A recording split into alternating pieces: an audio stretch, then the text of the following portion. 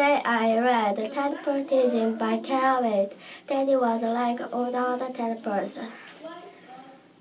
Teddy grew back legs. You are strange, the other tadpole said.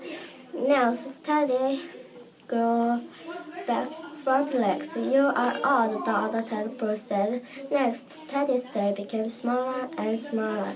You are strange, the other tadpole said. Then the other tadpoles grew back legs too. You are not old, the other tadpole said. You are just growing faster. We will be frogs like you soon.